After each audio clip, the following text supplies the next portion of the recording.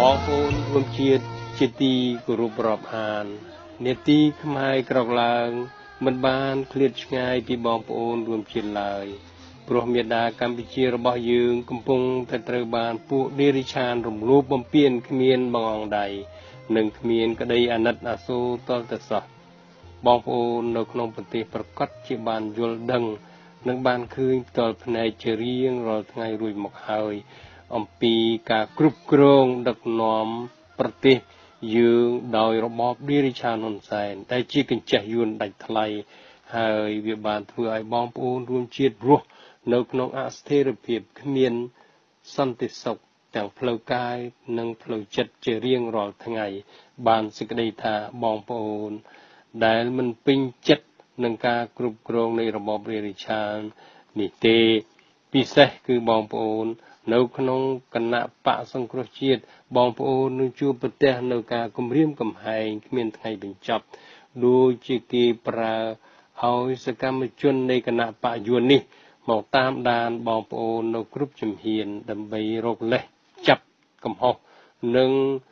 រុញបងប្អូនឲ្យទៅជួបនឹងគ្រោះថ្នាក់ដែលពួកវាបានរៀបចំរួចមកហើយជាដើមនេះជារបបមួយដែលសាហាវនិងអាក្រក់បំផុត ដែលរដ្ឋាភិបាលនៃប្រទេសមួយ ដែលមិនគោរពលទ្ធិប្រជាធិបតេយ្យនិងមិនគោរពសិទ្ធិរបស់ប្រជាពលរដ្ឋខ្មែរយើងតែម្ដងអោបងប្អូនរួមជាតិខ្មែរខ្ញុំហើយថារដ្ឋាភិបាលរាជឆានហ៊ុនសែនទៅចោះថាវាជាកញ្ចេះយួននឹងចិន ដែលវាមិនបានគិតពីសុខសុវត្ថិភាពរបស់ប្រជាពលរដ្ឋខ្លួនឯង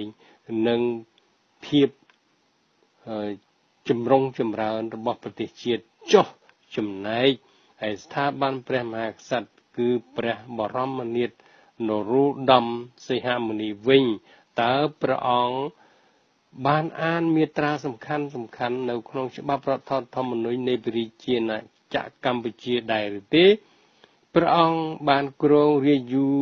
ហើយដែរ តែយើងជាជារាជមិនសូវបានឮប្រសូរសៀងរបស់ព្រះអង្គទេ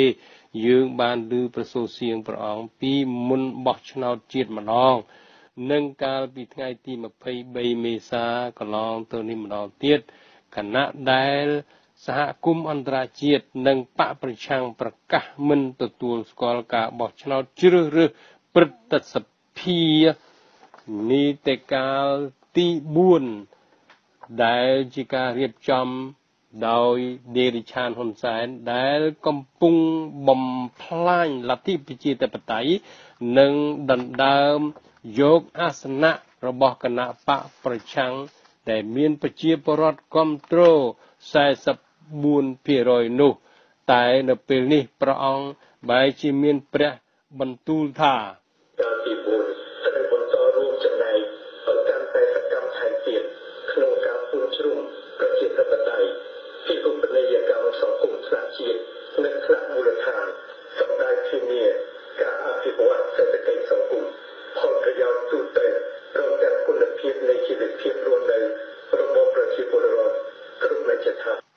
បាទ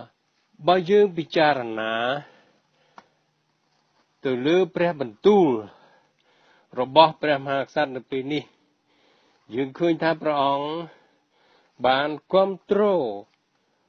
ទៅលើចំណាត់ការទាំងឡាយដែលដេរិឆានហ៊ុនសែនបានធ្វើវិសោធនកម្មគណៈបកនិងការរំលាយគណៈបកសង្គ្រោះជាតិក្នុងកាលកន្លងមក និងព្រះអង្គគ្រប់គ្រងសកម្មភាពរបស់រាជឆានហ៊ុនសែនដែលប្លន់ដណ្ដើមយកអាសនៈរដ្ឋសភាចំនួន55របស់គណៈបកសង្គ្រោះជាតិទៅចែកឲ្យគណៈបកដទៃទៀតដែល ប្រជាពលរដ្ឋមិនបានបោះឲ្យមួយសម្លេងផងនោះទៅវិញទោះជាមានទង្វើដ៏ឈួតព្រីផ្សៃរបស់ដេរិឆានហ៊ុនសែនប៉ុណ្ណេះហើយ តែព្រះអង្គបែរជាយាងចេញទៅប្រទេសចិន ហើយបណ្ដោយទុកឲ្យគណៈបពប្រជាជនបង្កធ្វើព្យុះធ្វើភ្លៀងស្រេចតែនឹងចិត្តពីលរបស់វា នៅចំពោះមុខកំហុសរំលោភលើច្បាប់កម្ពុជាគឺច្បាប់រដ្ឋធម្មនុញ្ញបែបនេះហើយឯព្រះអង្គបែរជាគង់នៅស្ងៀមហើយ គឺបានសេចក្តីថាព្រះអង្គ បានរួមចំណែកធ្វើកំហុសជាមួយនឹងជនក្បត់ជាតិហ៊ុនសែននេះប្រកាសណាស់អោប្រកាសណាជាអម្ចាស់ជីវិតលើត្បូងរបស់ប្រជារាស្ត្រខ្មែរហើយប្រជារាស្ត្រខ្មែរនៅមានចិត្តគោរពនិងស្រឡាញ់ស្ដេចនៅឡើយតែមុននឹងប្រជារាស្ត្របដូរចិត្តព្រះអង្គគួរណាស់តែបើកព្រះទ័យឲ្យទូលាយឡើង ហើយរៀនមើលនិងយកគំរូ ស្ដេចជន់មុនមានប្របាទជ័យវរ្ម័នទី7ឬយ៉ាងហោចណាស់បានត្រឹមព្រះអង្គឌួងក៏ជាការប្រសើរណាស់ទៅហើយ មួយទៀតគូព្រះអង្គតតមើលមេត្រា8ដែលបានចែងថាព្រះមហាក្សត្រ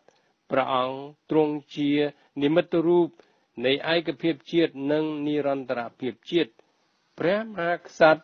ទ្រង់ជាអ្នក ធានាឯករាជ្យជាតិអធិបតេយ្យនិងពូរណភាពទឹកដីនៃប្រជាជាតិកម្ពុជាទ្រង់ជាអ្នកធានាការពារគោរពសិទ្ធិនិងសេរីភាពរបស់ប្រជាពលរដ្ឋនិងការពារសិទ្ធិសញ្ញាអន្តរជាតិលើពីនេះព្រះមហាក្សត្រត្រូវកាន់ខ្ជាប់លើមាត្រា9ថែមទៀតគឺព្រះមហាក្សត្រទ្រង់មានទួនាទីខ្ពង់ខ្ពស់ជាអាជ្ញាកណ្ដាលដើម្បីធានា ការប្រព្រឹត្តទៅនៃអំណាចសាធារណៈឲ្យមានភាពទៀងត្រង់តាមទស្សនៈរបស់ប្រជារាស្ត្រខ្មែរមួយចំនួន លោកបានបញ្ចេញយោបល់ថាសូមព្រះមហាក្សត្រប្រើនៅព្រះតម្រិះគួរគិតគូរពីវាសនារបស់ប្រទេសជាតិឲ្យបានខ្លាំងក្លាឡើង គឺមិនត្រូវបណ្ដោយទុកឲ្យនាយករដ្ឋមន្ត្រីឌីរិឆានហ៊ុនសែន ដឹកនាំប្រទេសខុសពីច្បាប់កម្ពុជារបស់ប្រទេសគឺយើងសម្ដៅទៅលើច្បាប់រដ្ឋធម្មនុញ្ញខ្មែរដែលបានរៀបចំឡើងនៅឆ្នាំ1993ឲ្យបានត្រឹមត្រូវមិនមែនចេះតែធ្វើវិសោធនកម្មកែតម្រូវទៅតាមប្រយោជន៍របស់គណៈបកប្រជាជន ដែលបានធ្វើឡើងទាំងបំពេញក្នុងរយៈកាលចុងក្រោយ ក្នុងគូលបំណងរំលាយគណៈបកសង្គ្រោះជាតិពីឆ្នាំ 2017កន្លងមក ដែលមានតែគណៈបកប្រជាជនមួយភាគីតែឯងដែលបានចុះហត្ថលេខាលើការកែប្រែក្នុងការធ្វើវិសោធនកម្មដើម្បីរំលាយគណៈបកសង្គ្រោះជាតិនោះនេះជាវិធីដែលរដ្ឋាភិបាលរបបលេរិឆានហ៊ុនសែនធ្វើឡើង ដើម្បីកំទេចគណៈបកដ៏ធំមួយ ដែលជាឆ្អឹងទទឹងកហើយអាចផ្ដួលគណៈបកប្រជាជនបាន ដោយបានឃើញនៅគ្រោះថ្នាក់ធំបែបនេះហើយទើបដេរិឆានហ៊ុនសែនរកល្បិចកលកំចាត់គណៈបកជាគូប្រកួតនេះឲ្យរលាយហើយมันអាចងើបឡើងមកប្រកួតប្រជែងជាមួយនឹងខ្លួនបានតទៅទៀតទន្ទឹមនឹងរឿងដ៏អពមង្គលដែលបង្កឡើងដោយនាយករដ្ឋមន្ត្រីដេរិឆានដ៏អប្រិយនេះសូមបងប្អូនរួមជាតិ នៅគ្រប់ទីកន្លែងនិងនៅគ្រប់និន្នាការនយោបាយទោះជាបងប្អូននៅក្នុងគណៈបកប្រជាជនក៏ដោយបងប្អូនត្រូវហ៊ានលះបង់គណៈបកប្រជាជននេះហើយមករួមជាមួយនឹងក្រុមខ្មែរតែមួយនាំគ្នាកំចាត់បុគ្គលកញ្ចេះយួននឹងចិននេះឲ្យដួលរលំទើបយើងអាចជួយរំដោះមេដាកម្ពុជាយើងបានរួចពីល្បិចណាក់ លោបអំណាចឲ្យរួចពីល្បិចក្រុមប្រមូលអំណាចឲ្យរួចពីក្រុមមនុស្សគ្រួសារនិយម និងឲ្យរួចពីក្រុមបពុនិយម ដែលបានបំភ្លេចបំផ្លាញប្រទេសជាតិឲ្យធ្លាក់ទៅក្នុងកណ្ដាប់ដៃនៃពួកអាត្មានិយមសពថ្ងៃនេះក្រោកឡើងបងប្អូនកុំចាំដល់ពេលពួកក្បត់ជាតិរៀបចំក្បួនរំលាយមាតុភូមិយើងដូចជាប្រទេសចម្ប៉ា ឬដោយកម្ពុជាក្រោមនោះវាហួសពេលទៅហើយឥឡូវនេះសូមរំលឹកបងប្អូនថាតើបងប្អូនសុខចិត្តឲ្យឌីរិឆានហ៊ុនសែនដឹកនាំប្រទេសទៅនៅក្រោមយួននឹងចិននៅអនាគតឬឬមួយបងប្អូននាំគ្នាឬបំរាស់ឲ្យរួចពីកញ្ញាំយួននឹងចិនហើយយើងនាំគ្នាកសាងប្រទេសយើងទៅតាមរបប នៃប្រទេសដែលកាន់លទ្ធិប្រជាធិបតេយ្យហើយធ្វើឲ្យប្រទេសយើងមានឯករាជ្យភាពនិងមិននៅក្រោមប្រទេសណាមួយនោះតាមទស្សនៈនៃមនុស្សអ្នកឯករាជ្យយើងមិននៅក្រោមរបបមនុស្សផ្ដាច់ការមនុស្សឱកាសនិយមមនុស្សអាត្មានិយម យើងនឹងអាចធ្វើទៅបាននៅក្រោមកម្លាំងសាមគ្គីនៃខ្មែរនៃជាតិនិយមរបស់យើងមិនខានឆន្ទៈនៃអ្នកជាតិនិយមខ្មែរនឹងអាចជួយឲ្យពួកយើងដើរទៅដល់គោលដៅរបស់យើងមិនខានពីខ្ញុំបាទជាតិហងសាវិទ្យុខ្មែរពិភពលោករៀបរៀងជូនបងប្អូនស្ដាប់ពីរដ្ឋមនីវិតាសហរដ្ឋអាមេរិកដោយសេចក្តីគោរពរាប់អាននិងស្រឡាញ់ដល់ស្មោះសូមអរគុណនិងសូមជម្រាបលា ស្ដាប់វិទ្យុខ្មែរពិភពលោកវិទ្យុគោរពរាប់អានខ្ញុំសូមជម្រាបត្រង់ត្រង់តែម្ដងទៅចុះថាខ្ញុំជ្រួលច្របល់ក្នុងចិត្តខ្លាំងណាស់រឿងគម្រោងបរិយអង្គរយើងនោះតាំងតែពីឆ្នាំ2015ដែលខ្ញុំបានសូមដកខ្លួនចេញពីគណៈកម្មការព្រោះឃើញថាបន្តនៅតទៅទៀតក៏ឥតប្រយោជន៍អ្វីជួយអ្វីគេមិនបានដោយខ្ញុំនៅឆ្ងាយពីបរិយអង្គរ ហើយក៏ចាប់ធ្វើការងារផ្សេងផ្សេងទៀតមកនោះខ្ញុំសង្ឃឹមថាក្រុមអ្នកធ្វើការងារដែលបានពលីកម្លាំងកាយកម្លាំងចិត្តប្រាជ្ញានិងលុយកាក់ក្នុងការមើលការខុសត្រូវគម្រោងនេះ អាចធ្វើកិច្ចការបានសម្រេចជោគជ័យជាបំខានឥឡូវលោកប្រធានអោសឿមបានប្រកាសចូលចេញពីតំណែងព្រោះជារាភាពនិងការហត់នឿយនឹងការងារច្រើនឆ្នាំហើយ ឥឡូវនេះខាងគណៈកម្មការចាស់ដែលមានលោកយសរុនលោកខិតសុបលោកអច្ឆន្ទីលោកសុនសម្បូរលោកតាមខណ្ឌលោកភួងខលឡាជាអ្នកកាន់កាប់បានប្រកាសអញ្ជើញសមាជិកស្ថាបនិកឲ្យចុះឈ្មោះជាបេក្ខជនប្រធានថ្មីដើម្បីជួយដឹកនាំគម្រោងដ៏ធំនេះឲ្យដើរទៅមុខរស់ជាង5ឆ្នាំមកនេះនៅមិនទាន់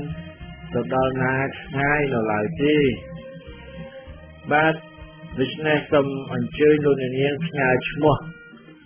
ទៅលោកលេខា Kenneth Sok ទូរស័ព្ទរបស់លោកគឺ704 641 4008ម្ដងទៀត704 641 4008ឬផ្ញើអ៊ីមែលទៅអត្តយដ្ឋាននេះ kenrealty 2005 @yahoo.com Ken Reality សរសេរ K E N R E A L T Y Ken Realty ហើយលេខ2005ដល់ @yahoo.com បាទបាទគេនឹងទទួលឲ្យចុះឈ្មោះរហូតដល់មុនថ្ងៃទី20អូសភា ហើយក៏នឹងរៀបចំការបោះឆ្នោតនៅថ្ងៃអាទិត្យទី27អូសភានោះខ្ញុំបានស្នើឈ្មោះលោក James Yai នៅ Atlanta រដ្ឋ Georgia ព្រោះឃើញថាលោកចូលរត្រែតហើយហើយក៏ធ្វើដំណើរមកបរិយអង្គរញឹកញាប់មានគម្រោងបណ្ដោះផ្សិតលក់ព្រមទាំងបានសាលបងបណ្ដោះរួចហើយបានទទួលជោគជ័យល្អណាស់ តែអនិច្ចាលោកបានបដិសេធថាមិនមានបំណងចង់ធ្វើប្រធាន គឺចង់នៅជួយពីក្រោយវិញសូមជាអ្នកបិទមាសសន្លឹកនៅខាងខ្នងព្រះបាទមែនតើអស់កំសួលខ្ញុំក៏បានទូរស័ព្ទទៅសន្ទនាជាមួយនឹងលោកបងមុំប៉ាពីយ៉ុងអវឲ្យលោកមកធ្វើជាប្រធានបរិយអង្គរព្រោះលោកជាមនុស្ស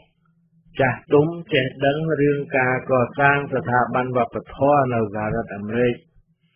លោកយល់ពីវប្បធម៌ទំនៀមទម្លាប់ខ្មែរហើយមានបំណងចង់ជួយសាងសង់សារមន្ទីរបង្ហាញអំពីអរិយធម៌ខ្មែរពីបុរាណមកដល់សម័យបច្ចុប្បន្នប្រកាសណាស់លោកបងបានបដិសេធមិនទទួលយកតំណែងប្រធានបរិយអង្គរលើហេតុផលថាលោកមិនស្គាល់នរណាពិតប្រកបសោះ ក្នុងចំណោមស្ថាបនិកគម្រោងបរិយអង្គរនៅទីក្រុងសាឡតនោះបើស្គាល់ខ្លះក៏តែតាមសវិតគឺស្គាល់តាមអ៊ីមែលនិងទូរស័ព្ទទៅតែនឹងបានឃើញមុខខ្មៅពុកមាត់ពុកចង្ការរៃរៃក៏កាលពីបិណ្ឌចូលឆ្នាំខ្មែរនៅបរិយអង្គរចុងខែមេសាកន្លងមកនេះតែប៉ុណ្ណោះម្យ៉ាងទៀតលោកបងបានប្រាប់ថាលោកពេញចិត្តនឹងជួយខ្លឹមមើល តាមដាន និងរវាងទីក្រោយឲ្យ គឺជួយតាមជំនាញរបស់លោកខាងស្រមើស្រមៃរឿងការកសាងអច្ឆរិយវត្ថុនិងអច្ឆរិយសំណង់របស់ខ្មែរយើងបាទខ្ញុំសូមអំពាវនាវម្ដងទៀតដល់បងប្អូនសមាជិកស្ថាបនិកបរិយាអង្គរដែលមានសមត្ថភាពក្នុងការចាត់ចែងក្រុមហ៊ុនបរិយាអង្គរនេះ គឺធ្វើយ៉ាងណាឲ្យមានផែនការដំណើរការការកសាងនៅភូមិខ្មែរនិងសំណង់ប្រវត្តិសាស្ត្រផ្សេងៗមានវត្តភ្នំអង្គរវត្តនិងបន្ទាយលង្វែកជាដើមបាទសូមជម្រាបថាយោងតាមសំណើរបស់លោកថាច់ចន្ទធីគម្រោងបរិយអង្គរគួរតែបំបែកចេញជាពីរផ្នែក គឺផ្នែកខាងឯកជន គឺក្រុមហ៊ុនសហគមន៍ខ្មែរ បាទដែលត្រូវបង់ពន្ធនឹងមួយទៅហើយមួយផ្នែកទៀតគឺខាងមជ្ឈមណ្ឌលវប្បធម៌ខ្មែរពិភពលោកដែលនឹងត្រូវជាអង្គការមានយកកម្រៃបាទ non profit organization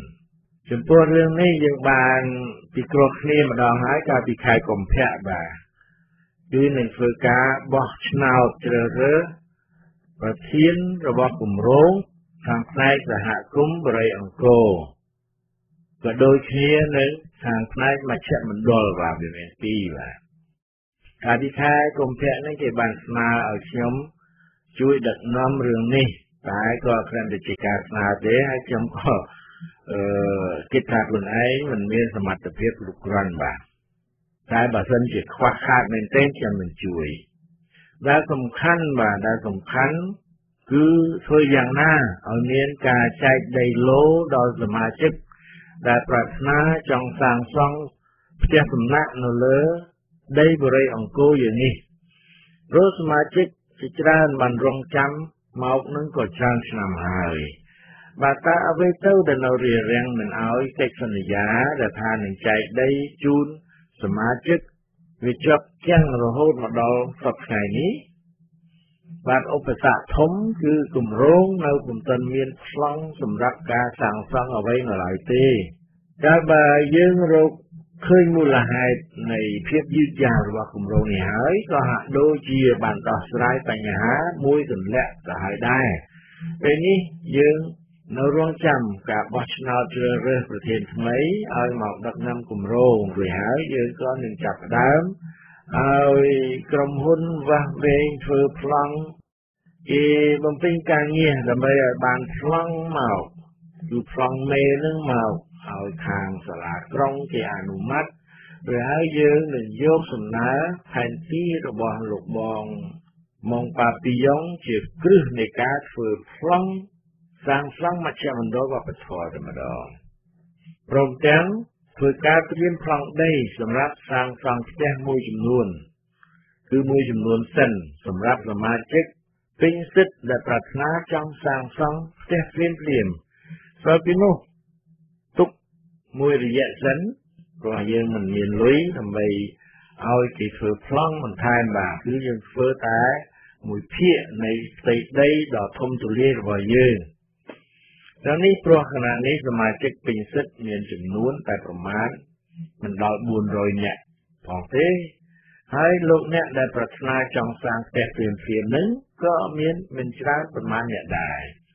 បាទរឿងបរិយអង្គរយើង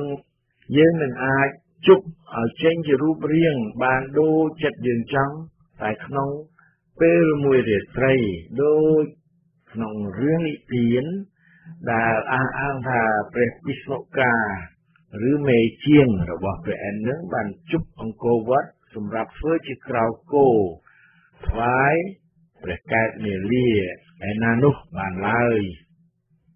អរលោកនាងមានស្ដាប់ជាទីគោរពរាប់អានថ្ងៃនេះជាទិវាមេត្តាបាទថ្ងៃម៉ែបាទអ្នកណាស្រឡាញ់ម៉ែក៏គួរតែ បង្ហាញប្រាប់គាត់មុនដែលគាត់នឹងមិនបានទទួលដឹងប្រាប់ពីឥឡូវទៅបាទម៉ែនឹងមានតែម្នាក់ទេស្រឡាញ់យើងហើយលីងក៏មកបាវដើររម៉ែនឹងក៏ដើររមិនបានទេខ្ញុំជឿថាអញ្ចឹងបាទព្រោះម៉ែស្រឡាញ់យើងអ្នកដតីគេមិនលែងម៉ែណាឡើយគេនឹងមកស្រឡាញ់យើងនោះ កូនខ្មែរត្រូវស្រឡាញ់ម៉ែបាទហើយជាពិសេសគឺមេដាកម្ពុជាម៉ែផែនដីយើងនោះបាទទិវា4មិថុនាក៏ជាទិវាសំខាន់មួយទៀតទិវានេះខិតចូលមកកាន់តែជិតមកហើយ4មិថុនា1949គឺជាថ្ងៃដែលបារាំងបានសម្រេចលើកអូសាំងស៊ីនឬ កម្ពុជាក្រោមទៅឲ្យពួកអាយួនកន្តោប4មិថុនាជាទិវានៃក្តីឈឺចាប់របស់ខ្មែរមិនតែខ្មែរក្រោមប៉ុណ្ណោះទេ គឺរបស់ខ្មែរនៃមេដាកម្ពុជាទាំងមូលបាទមានតែខ្មែរសំគិះប៉ុណ្ណោះដែលវាមិនអើពើនឹងការបាត់បង់ទឹកដីដ៏ធំធេងបែបនេះ ពួកខ្មែរក៏ចេះយួនដែលកំពុងតែ ជួយឲ្យពួកអាកន្តោកដែលលេខកម្ពុជាកណ្ដាលខណៈនេះពួកអស់នេះវាមិនទៅឈឺក្បាលវិលមុខរឿងកម្ពុជាក្រោមអីនោះឡើយបាទខ្ញុំបានសូមឲ្យលោកថៃងុកថៃជម្រាបលោកអ្នកនាងអំពីគម្រោងបុណ្យទាននានាដែលសហព័ន្ធខ្មែរកម្ពុជាក្រោមពិភពលោកបានត្រៀមរៀបចំធ្វើក្នុងប៉ុន្មានខែខាងមុខនេះក្រៅពី ទិវាបាត់បង់ទឹកដី4មិថុនា2018នេះហើយតើខ្ញុំកាលណាខ្ញុំបាទថៃកសាច់ប្រធានសហព័ន្ធផ្នែកកម្ពុជាក្រមពិភពលោកសួរថាតើដំណើរការរឿងខ្មែរក្រមមកដល់ហើយតាមណាហើយក្នុងពេលបច្ចុប្បន្ននេះគឺឃើញថាការអឺបញ្ចុះសម្រងមានថាបញ្ចុះសម្រងលើគំនិតគ្នានោះក៏ទៅមានហូហែមក ទោះបីការខិតខំរកមធ្យោបាយយ៉ាងណាក៏ដោយតែខ្ញុំបាននិយាយវាច្រើនដងណាស់ហើយបងប្អូនយើងជាច្រើនមានធ្វើកម្មវិធីបង្រួបបង្រួមនៅទីក្រុងម៉ូរ៉ាល់មួយលើកជាពីរលើកបន្ទាប់មកយើងខ្ញុំក៏មានបានសូមដល់ប្រតិជនបណ្ឌិតសុវណ្ណជួយសម្រួលនឹងក៏លោកក៏ខិតខំឃើញថាទៅមុខមិនរួច ហើយក៏បានទូលទៅសូមប្រតិជនអឺខ្ញុំថេនដែលនៅប្រទេសបារាំងមកក៏ឃើញថាទៅមិនរួចដូច្នេះយើងឃើញថាឲ្យទៅតាមដំណើរចឹងទៅទៅហើយបងប្អូនយើងក៏សម្រេចថាការដែលយើងរងចាំរហូតដល់2ឆ្នាំហ្នឹងក៏ទៅបុករួចចឹងហើយបានជាយើងក៏សូមស្វាគមន៍ត្រឡប់នៅសហរដ្ឋអាមេរិកកុំឲ្យបងប្អូនយើងពោះមក ប្រហែលថ្ងៃកន្លងហើយនេះបីបងប្អូនយើងដែលលឺសូរភាគីទៅនោះថាធ្វើខុសច្បាប់ធ្វើនេះខុសច្បាប់ធ្វើនោះខុសច្បាប់តែរឿងវាអត់មានខុសច្បាប់ទេយើងនិយាយពីរឿងសិទ្ធិមនុស្សហើយយើងរស់នៅក្នុងក្នុងប្រទេសប្រជាធិបតេយ្យនេះគឺអត់មានខុសច្បាប់ទេបើតើយើងប្រម៉ែប្រមូលគ្នាកាន់ស្ពឹងលើស្ទប់អាហ្នឹងបានវាខុសអាហ្នឹងវាគាត់អញ្ចឹងដូច្នេះទៅទី1 យើងបានប្រជុំគ្នាទៅលើកជាទីលើក3លើកជា4លើកដូចជាបងប្អូនយើងបានដឹងហើយអញ្ចឹងក៏យើងបានសម្រេចថាដាក់សុំច្បាប់ឲ្យបានត្រឹមត្រូវព្រោះរងចាំការសម្រួលគ្នានោះគឺទៅទៅបន្ទួចចឹងយើងបានសុំច្បាប់នៅទីក្រុងអាត្លង់តារដ្ឋចរចាដាក់ថាសហព័ន្ធផ្នែកកម្ពុជាក្រមពិភពលោកដោយមានសមាជិកនៅសហរដ្ឋអាមេរិកប្រទេសកាណាដា នៅអូស្ត្រាលីញូហ្សេឡង់និងនៅប្រទេសកម្ពុជានោះទាំងផងដែររួមទាំងប្រទេសទាំងអស់ណាតែយើងដាក់ទាំងអស់នៅក្នុងច្បាប់សូមច្បាប់អង្គការការរដ្ឋាភិបាលនៃសហរដ្ឋអាមេរិកហ្នឹងបាទគេតែយើងធ្វើហើយហើយដូច្នេះសូមកុំឲ្យបងប្អូនយើងអឺតែខ្លាចខុសខុសច្បាប់មិនត្រូវច្បាប់ដោយតែអស់លោកលោកអត់ចេះនៅតែខំហើយការខំនោះវាខុសរឿង យើងឃើញអង្គការខ្មែរក្រមនោះមានច្រើនមិនមានប្រសាព័ន្ធទេតែមានខាងលោកសេចក្ដីតារាក៏មានខាងលោកសេចក្ដីថាក៏មានហើយអង្គការទាំងពីរនោះគឺថា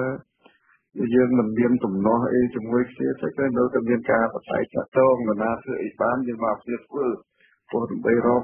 ប្រយោជន៍រួមគឺផលប្រយោជន៍សម្រាប់បងប្អូនខ្មែរក្រមនៅក្នុងស្រុក តែនៅក្រៅជម្រាបបងប្អូនខ្មែរក្រមយើងទាំងនៅក្នុងស្រុកទាំងនៅក្រៅស្រុក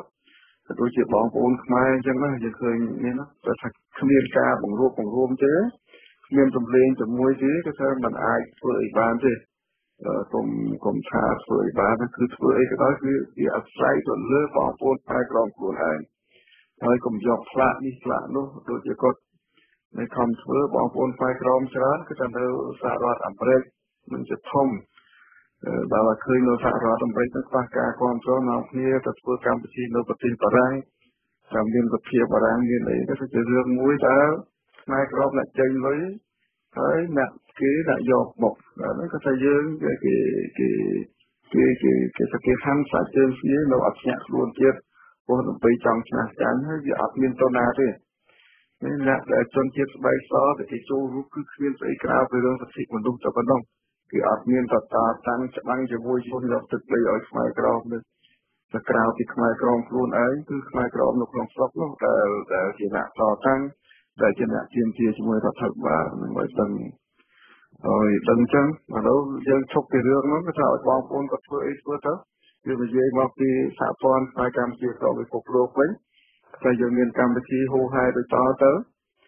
នៅថ្ងៃទីទីទី3ខាងមុខនេះយើងធ្វើប៉ុន យើងទូទៅយើងថាបនបាត់បង់ទឹកដី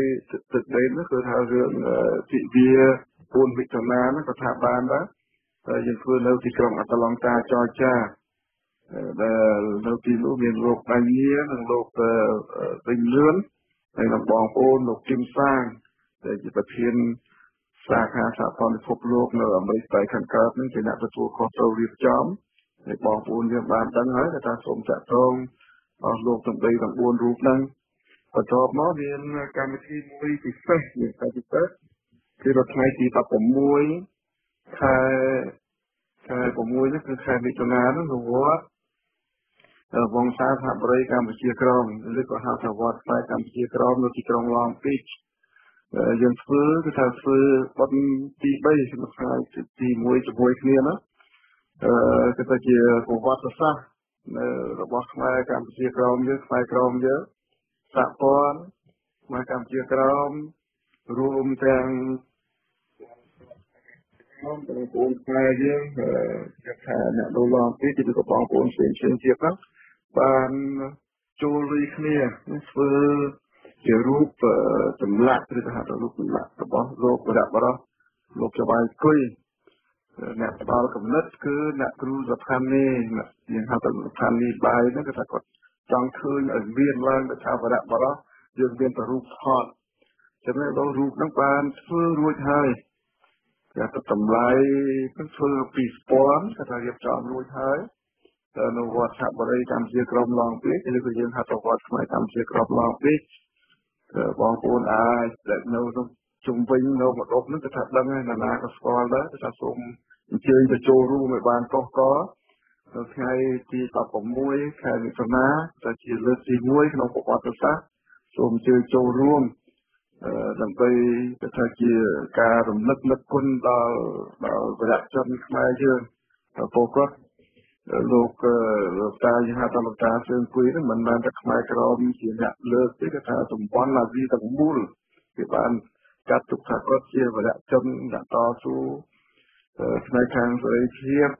ផ្នែកខាងជំនឿសាសនាឬក៏សម័យរហ័សលទ្ធិប្រជាធិបតេយ្យនោះដូច្នេះសូមសូមបញ្ជើញចូលរួមបន្តមកទៀតកម្មវិធីបំបត្តិបង់ទឹកដីហ្នឹងក៏មានធ្វើនៅទីក្រុងទូលូសនៅប្រទេសបារាំងដែលគេលោកលំបាំងគឿងជាអ្នកចាត់ចែងនៅនៅទីនោះដែរមាននៅប្រទេសអូស្ត្រាលីបងប្អូនយើងបានដឹងស្រាប់ហើយមាននៅអាតាឡេត មាននៅមែលប៊នមាននៅស៊ីដនីជាដើមអឺការទៅនោះគឺថាយើងបងប្អូនយើងបានចូលរួមរៀងរាល់ឆ្នាំគឺថាយើងធ្វើប៉ុនហៅថាប៉ុនការជួបជុំគ្នានៅរដូវប្រាំងរដូវប្រាំងនេះរវាងបងប្អូនខ្មែរនិងខ្មែរក្រមដែលយើងធ្វើហួសផ្អែកឲ្យជារៀងរាល់ឆ្នាំហើយឆ្នាំនេះធ្វើនៅថ្ងៃទី4ខែ8 នៅថ្ងៃទី4ខែ8ឆ្នាំ1000 2018ណាបាទខែ8សីហាណាអឺដូច្នេះបងប្អូនយើងអញ្ជើញសូមអញ្ជើញចូលរួមយើងក៏ដាក់សេចក្តីប្រកាសប្រហែលថ្ងៃខាងមុខនេះពេលដែលធ្វើកដាស់ប្រកាសនឹងរួចគឺទើបតែបានប្រជុំមុនពេលហ្នឹងជាមួយអ្នកនំមកអើគេថាគាត់បានរៀបចំចាត់ចែងណានាទទួលខុសត្រូវអីណានារៀបចំអីហ្នឹងហើយយើងឲ្យបងប្អូនយើងទៅទៅ បន្តទៅថ្ងៃទី4ខែ8ហ្នឹងខែសីហានៅទីក្រុងមុខរ៉ាល់យើងធ្វើកម្មវិធីមួយទៀតគេហៅថាកម្មវិធីអឺកម្មវិធីខ្មែរក្រមអឺរ៉ុបដែលធ្វើនៅវត្តអឺនៅវត្តចាំងរាំងសីកម្ពុជាក្រមទីក្រុងប៉ារីដែលមានលោកចន្ទសារមីជាប្រធានរៀបរៀបចំឡើងដោយសហព័ន្ធផ្នែកកម្ពុជាក្រមអឺរ៉ុបដែលមានលោក លំវ៉ាន់គឿនជាប្រធានធ្វើនៅថ្ងៃទី18ខែ8ដូច្នេះបងយើងនៅតាវត្តថ្មីក៏ជាកន្លែងចតឡានយើងទៅចតឡានហ្នឹងមានដល់100ឡានបងប្អូនអាចទៅចូលរួមបានសាលាសម្រាប់ប្រសងក៏យើងធ្វើហើយហើយទីជាប់ដូច្នេះក៏កន្លែងទលំទលាយបងប្អូនយើងអាចទៅចូលរួម រួមនឹងបានច្រើនរាប់រយនាក់មានកន្លែងបពោហូហៀតាំងពីកន្លែងចតឡានតាំងពីកន្លែងទៅធ្វើបន់ធ្វើជាគេថាបពោហូហៀអត់ខ្វះទេហើយយើងនឹងរៀបចំរៀបចំនៅនៅទីនេះដូច្នេះគឺតែកម្មវិធីគឺ3ខែទៅមុខទៀតហ្នឹងគឺថាជាប់ប្រតិបហ្នឹងហើយយើងអំពាវនាវបងប្អូនខ្មែរខ្មែរក្រមទាំងអស់ចូលរួមព្រោះនេះជារឿងជាតិ មិនមែនជារឿងបុគ្គលថាអញ្ចឹងថាអញ្ចឹងទេគឺថា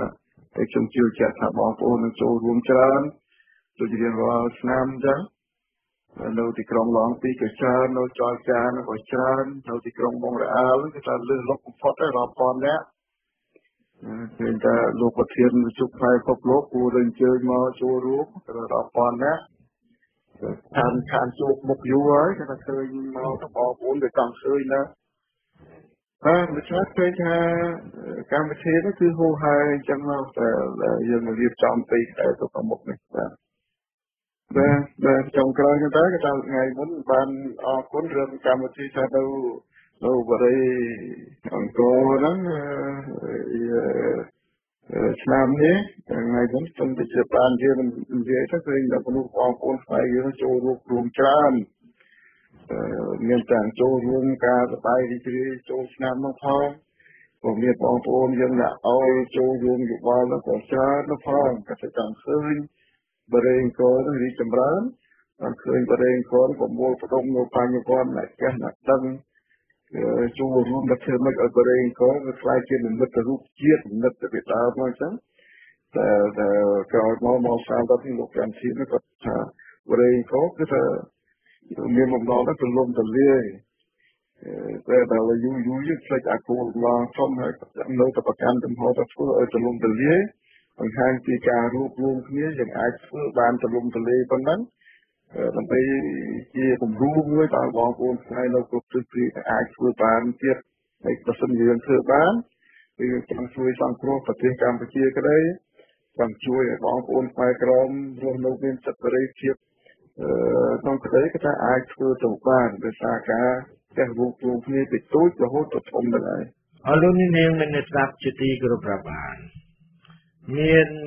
អ្នកស្ដាប់ឬអ្នកចាំជេរខ្ញុំម្នាក់បានរិះគន់ខ្ញុំថាមិនឃើញដើរសម្ភាសអ្នកនយោបាយសំខាន់សំខាន់យកមកឲ្យអ្នកស្ដាប់បានដឹង ដោយវិទ្យុផ្សេងផ្សេងមាន RFA VOA AFE ឬ ABC អីគេសោះអញ្ចឹងបាទបើខ្ញុំមានអាគមជាថាខ្ញុំច្បាស់ជាបញ្ជូនស្បែកក្បីចូលពោះអាម្នាក់នឹងហើយសូមជម្រាបតាមត្រង់ទៅចុះព្រោះម្នាក់នេះមិនដឹងទេឬថាវិទ្យុដែលកាត់បញ្ចេញឈ្មោះមកទាំងអស់នោះ សហរដ្ឋអាមេរិកក្តីបារាំងឬអូស្ត្រាលីក្តីគេចំណាយលុយមិនដឹងជាប្រមាណសែនប្រមាណលានដុល្លារក្នុងមួយឆ្នាំមួយឆ្នាំឲ្យឲ្យបើកផ្សាយនោះទេខ្ញុំអង្គុយធ្វើពីនេះពីនោះជូនស្ដាប់រាល់ថ្ងៃនេះនឹកស្មានថារដ្ឋាភិបាលអាខ្វាងវាចេញលុយជួលខ្ញុំឬយ៉ាងណាបាទខ្ញុំមិនមានបំណងសម្ភាសពួកអ្នកនយោបាយណានោះទេ មើលទៅរឿងប្តឹងរដ្ឋាភិបាលឬប្តឹងពួកអ្នកដឹកនាំរដ្ឋាភិបាលខ្វាងទៅកាន់តុលាការ ICC ដោយមេធាវីច្បាប់អន្តរជាតិ Richard Rogers សម្រាប់សម្រួចគ្មានបានការអ្វីទាំងអស់បាទឬយ៉ាងហោចក៏មកទល់នឹងពេលនេះដែរគឺបានតែនាំឲ្យបងប្អូនខ្លះអស់លុយអស់កាក់ខំផ្ញើបច្ច័យទៅជួយគ្រប់គ្រងនោះ ដូច្នេះអ្នកណានិយាយពីសាលាក្តី ICC ខ្ញុំឈប់ជឿហើយហើយក៏មិនសម្ភាសអ្នកនោះផងដែរមកជំរាបត្រង់ត្រង់ខ្ញុំសម្ភាសឡើងខ្ជិលដែរហើយអ្នកនយោបាយខ្មែរឥឡូវនិយាយដឹងរឿងអីទេបានការទេបាទលោកនាងប្រាថ្នាចង់ស្ដាប់បទសម្ភាសន៍សូមអញ្ជើញស្ដាប់ RFA VOA ឬស្អីស្អីអស់នោះបាទ វិទ្យុយើងមានតែរឿងអានសភៅទូស្ដាប់ប៉ុណ្ណោះបាទលោកនាងជាទីមេត្រីនិយាយពីការគ្រប់គ្រងវិទ្យុខ្មែរពិភពលោកមិនមែន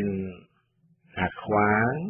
មិនមែនរដ្ឋាភិបាលប្រទេសណាគេមកជួយគ្រប់គ្រងសេចក្តីព្យាយាមផ្សព្វផ្សាយរឿងរ៉ាវផ្សេងផ្សេងជាភាសាខ្មែររបស់វិទ្យុយើងនោះឡើយគឺបងប្អូនអ្នកស្ដាប់នឹងតែម្ដងដែល ជាអ្នកធ្វើឲ្យវិទ្យុយើងអាចបន្តសកម្មភាពទៅបាននោះតែយើងផ្សាយល្អខ្លះអាក្រក់ខ្លះរាយការណ៍ត្រូវខ្លះខុសខ្លះនេះនិយាយពីខ្ញុំដែលជួយចិត្តតែស្មានស្មានបាទដែលជួយចិត្តតែស្មានស្មានយកហើយច្រើនតែប្រើប្រភពប្រើបើអើជាប្រភពមិនសមមិញខ្ញុំបានបានទទួលសម្បត្តិមួយច្បាប់ ពីលោកបងអ៊ុំហាក់នៃក្រុង Riverside រដ្ឋ California លោកបងបានសរសេរមកយ៉ាងគួរឲ្យខ្លោចចិត្តហើយនឹកដឹងគុណជាអណែកខ្លីៗដូច្នេះបាទចំពោះបងអូនសវិតស្នើចាប់មកជាមួយនេះឆែកមានចំនួនទឹកប្រាក់60ដុល្លារដើម្បីជួយវិទ្យុខ្មែរពិភពលោកចំនួននេះ ពិតជាតិចមែនតែធ្វើមិនដេចចែកគ្នារស់ទៅព្រោះខ្ញុំក៏ជាមហាសេដ្ឋីមានទ្រព្យមហាសាលថ្នាក់5សេនអងមីលយ៉ូណែដេសាញ់ស៊ូឬអង់គ្លេសថា a nickel millionaire សូមអូនបានទទួលជោគជ័យគុំហាអរគុណបងអរគុណយ៉ាងជ្រាលជ្រៅជាទីបំផុតបាទក្រៅពីនេះខ្ញុំក៏បានទទួលប្រាក់ភាគហ៊ុនលេងឆ្នោតលូតូ គឺទាំង Mega Million ទាំង Powerball ពីលោកបង Spencer នៅ Atlanta រដ្ឋ Georgia ពីលោក Roy Rom និង Heng Wong នៅ Lowell រដ្ឋ Massachusetts ពីអ្នកស្រី Solo នៅ Long Beach California ពីលោកក្មួយប៊ុនច័ន្ទនីនីនៅកូរ៉េខាងត្បូងព្រមទាំងមិត្តភ័ក្តិអ្នកស្គាល់គ្នាពីរបីអ្នកទៀតដែលសុំមិនឲ្យបញ្ចេញឈ្មោះបានលោកប្រុសអ្នកស្រីខ្លះសុំចូលរួមទិញឆ្នោតបើត្រូវរង្វាន់ធំឲ្យទុកសម្រាប់ជួយវិទ្យុខ្មែរពិភពលោកនិងគម្រោងបរិយអង្គរធ្វើឲ្យមកទល់នឹងពេលនេះយើងមានសមាជិកសមាគមចាក់ឆ្នោតខ្មែរពិភពលោកជាង50នាក់ហើយបាទគឺបាន54នាក់ហើយ ការនេះធ្វើឲ្យឱកាសត្រូវឆ្នោតរបស់យើងកាន់តែកើនឡើងជាង50ដងបាទសូមស្វាគមន៍លោកអ្នកនាងទាំងអស់គ្នានៅថ្ងៃទី15ឧសភាគឺខាងស្អែកទី15គឺជាថ្ងៃអង្គារក៏នឹងបិទឈប់ទទួលសមាជិកហើយបាទក៏ប៉ុណ្្នឹងបានហើយហើយថ្ងៃនោះខ្ញុំក៏នឹងធ្វើដំណើរទៅ រដ្ឋ Minnesota ជាមួយនឹងលោកហាប់ឡាយនិងអ្នកស្រីអឿសរ៉ាត់ពី Maryland ដើម្បីទៅជម្រាបសួរលោកសាស្ត្រាចារ្យសុធននៃរឿងគុកអិតអគានិងគ្រួសាររបស់លោកផងហើយក៏ទៅថ្វាយបង្គំព្រះនៅឯវត្តមីនីសូតារាមនោះផងបាទបាទលោកបងមុងប៉ាពីយ៉ងបានប្រាប់កូនយើងហើយបរិយអង្គរកាលពីចុងខែមេសាថា យើងគួរតែយកដើមស្នោតដែលជានិមិត្តរូបមួយទៀតនៃភាពជាខ្មែររបស់យើងទៅដាំនៅជុំវិញអង្គរវត្តដែលយើងគ្រោងនឹងសាងនៅបរិយអង្គរបាទខ្ញុំក៏ដូចមិត្តមិត្តទាំងឡាយដែលចូលរួមស្ដាប់លោកបងអធិប្បាយបញ្យលអំពីសារៈសំខាន់នៃសំណង់នានាដែលយើងគួរសាងសង់នៅក្នុងមជ្ឈមណ្ឌលវប្បធម៌ខ្មែរពិភពលោកហើយបរិយអង្គរនឹង គឺសិតតែយល់ស្របនឹងគំនិតនេះរបស់លោកបងប៉ាពីយ៉ុងចង់បានដើមស្នោតគឺថាមិនដឹងជាដើមស្នោតខ្មែរនឹងយកមកដាំនៅ North Carolina រស់ឬមិនរស់ខាងរដ្ឋនឹងគេអនុញ្ញាតឲ្យដាំឬមិនឲ្យបាទអង់គ្លេសហៅប៉ានីរ៉ាផមបាទដាំស្នោតប្រកាសជាចិត្តជំពាក់នឹងខ្មែរយើងយ៉ាងរឹងប៉ឹង ជាទីបំផុតដូច្នេះយើងត្រូវជួយគ្នាថែរក្សាទុកជាគេមរតករបស់ជាតិខ្មែរបន្តទៅឲ្យកូនចៅជំនាន់ក្រោយទៀតបាទបាទដែលហៅថាថ្ងៃនេះជាថ្ងៃអាទិត្យហើយខ្ញុំក៏នៅមិនទាន់បានតាក់ទងអ្នកបច្ចេកទេសកសិកម្មនៅរដ្ឋ North Carolina ដើម្បីឲ្យដឹងថាតើដើមស្នោតខ្មែរអាចយកមកដាំនៅរដ្ឋនេះបានដែរឬទេនោះ ខ្ញុំសូមជូនចម្រៀងមួយបទឈ្មោះចម្រៀងរឿងស្នោតទុំដែលជាចម្រៀងស្ដាប់ហើយកំសត់ខ្លាំងណាស់បាទអ្នកណាស្ដាប់មិនរលីងរលោងទៅភ្នែកទេខ្ញុំថាពូកែហើយក្រោយជួបគ្នាទៀតបាទសម្រាប់